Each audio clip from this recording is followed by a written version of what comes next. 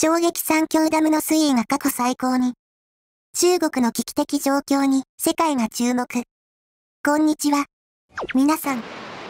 今回は中国にある三峡ダムの水位が過去最高に達したという衝撃的なニュースをお伝えします。この情報は中国国内だけでなく世界中で注目を集めています。三峡ダムは中国の長井に位置する世界最大の水力発電所であり、その規模は圧倒的です。しかし、最近の水位上昇により、ダムの安全性が危ぶまれています。実際、三峡ダムの水位は過去最高に達し、周辺地域には洪水の危険が迫っているのです。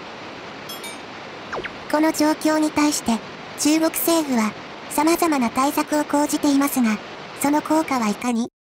また、三峡ダムの水位上昇がもたらす影響とは何なのでしょうか？それについて、皆さんの意見をお聞きしたいと思います。三峡ダムの水位上昇による影響は、まず周辺地域の洪水被害です。ダムの水位が上昇することで、ダムの放流量も増え、周辺地域に大量の水が押し寄せます。これにより、住民の生活や財産が脅かされる可能性があります。また、三峡ダムは水力発電所でもあります。しかし、水位上昇により、発電所の設備が被害を受ける可能性もあります。これにより、中国の電力供給にも影響が出るかもしれません。さらに、三峡ダムの水位上昇は、環境への影響も懸念されています。ダムの建設により、周辺の生態系が変化し、多くの生物が生息できなくなっています。水位上昇により、さらなる環境破壊が進む可能性もあるのです。このような状況を受けて、中国政府は対策を講じています。例えば、ダムの放流量を調整することで、洪水被害を最小限に抑えようとしています。また、ダムの安全性を確保するための点検や補修も行われています。しかし、これらの対策が本当に効果的なのか、疑問の声も上がっています。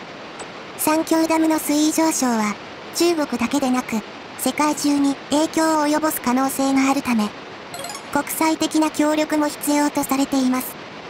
皆さんは、この三峡ダムの水位上昇についてどのように思われますか？中国政府の対策については、どのような意見をお持ちですか？ぜひ、コメント欄にご意見をお寄せください。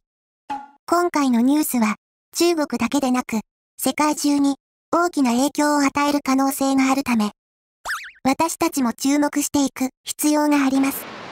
今後の情報にも引き続き注目し、最新の情報をお伝えしていきますので、ぜひ、チャンネル登録をお願いします。